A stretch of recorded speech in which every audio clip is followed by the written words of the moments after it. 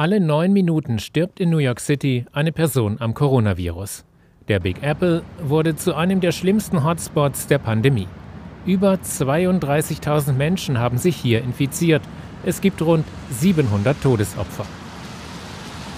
Der Times Square ist mit Voranschreiten der Viruskrise jetzt noch leerer geworden. Polizisten und Sicherheitskräfte müssen trotzdem draußen sein. Allein beim New York Police Department gibt es über 600 Corona-Fälle.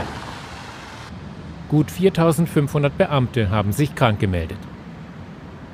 Von der Grand Central Station fahren nun kaum noch Züge ab. 67 Gleise gibt es hier. Der Zugverkehr ist fast komplett zum Erliegen gekommen. Auch auf der Park Avenue ist normalerweise viel los. Nun ist hier eine Fußgängerzone eingerichtet worden.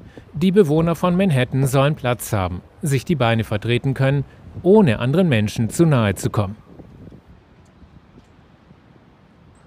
Direkt vor dem Mount Sinai Krankenhaus wird ein Feldlazarett aufgebaut. Offensichtlich ist das Krankenhaus bereits voll.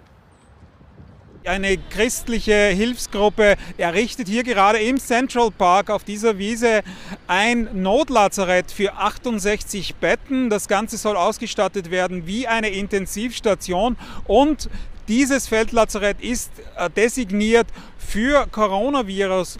Patienten. Bereits am Dienstag soll diese Anlage hier aufsperren. Hier sollen sofort die vielen Coronavirus-Patienten hier in New York äh, eingeliefert werden in dieses Feld Lazarett.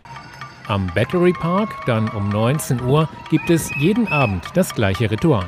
Bewohner klatschen und trommeln auf der Straße und aus den Fenstern, um sich bei den Krankenhausmitarbeitern, Notärzten und Sanitätern zu bedanken für die großartige Arbeit, die die Mitarbeiter im Gesundheitswesen gerade leisten.